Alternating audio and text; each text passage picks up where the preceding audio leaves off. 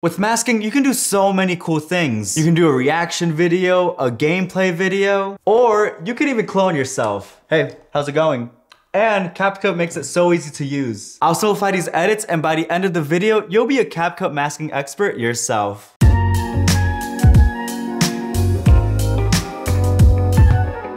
Welcome back to CapCut's YouTube channel. My name is Ricardo Soto and today I'm going to guide you on how to use the masking tool in CapCut Desktop. And before we get started, make sure you subscribe to CapCut's YouTube channel and comment down below how you'll be using this effect. You know, I would love to see your edits. So without further ado, let's start talking about masking. All right, so that effect that you saw earlier where I cloned myself, I'm gonna show you how to do that. And throughout that process, I'll show you what the rough concept of masking is. So before we get started, we're gonna need two clips. And make sure that the camera or phone that you're gonna use stays in the same position throughout this entire filming process. You're going to film yourself on one side of the shot. And after you get that, you're gonna go on the whole other side and film another shot of yourself there. And once you get those shots, you're going to import them on CapCut and put one of those shots on top of the other. It really doesn't matter which one. And now I have both of mine aligned, so you can see one is on top of the other right there. And this is where we use the masking tool. Select the video that you have on top. And then in the video tab, go all the way to the masking sub tab. And for this effect, we're going to do a split mask. So you're gonna hit split.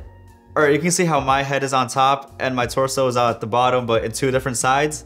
We're gonna fix that up. So you're going to twist this line all the way here. I'll do 90 degrees just to your liking. And that already does not look bad at all. But if you go all the way to the bottom of the masking tab, you see right there, there's a slider that says feather. And that'll smooth out the line so it's not a harsh cut in the middle. I'll set the slider to 10. Never hurts to have a bit of a feather. So let's play that back.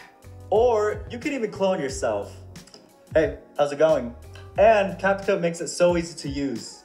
Yeah, you see how easy that is? And it actually looks really, really good. But yeah, that's pretty much the concept of masking. It'll erase the whole part of the video so another part shows up. Let me show you some other cool things that you can do with the masking tool. You've probably seen reaction videos, gameplay videos, and you know how people have a little cutout of themselves and they put it over the gameplay? Well, let me show you how to do that with masking. So first, we're going to open up a brand new project on CapCut Desktop. And then you're going to grab the footage of yourself reacting and the footage of what you're reacting to or your gameplay. You're going to put that gameplay reaction footage first. And I'm going to use this video of me jamming out playing guitar. Don't think I react to myself all the time. And now that you have that footage imported, you're going to import the clip of you reacting. And you can see this is a video of me reacting, listening to music, enjoying my playing. And once you have those timed and synced, let's start masking. You're going to select the video on top, which is the video of you reacting. And again, make sure you're on the mask sub tab. And here you can see that mask not only offers a split effect, but there's a bunch of other shapes that we can use. So just for an example, let's go for a circle. And now we have the circle, we're going to adjust it to our liking so you can get a full shot of the head. I think that looks good. And you can play around with the feathering, play with the positioning. But for this clip, I like it being a full circle. And once you have it set to your liking, you're gonna go back to the basic sub tab. And this is where you can move the clip around. You know, you can change the sizing, change the positioning. And once you set it to your liking, let's take a look at this final shot.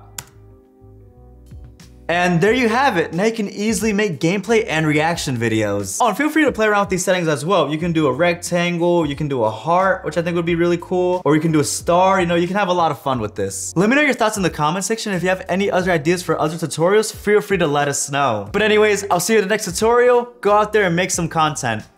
Bye!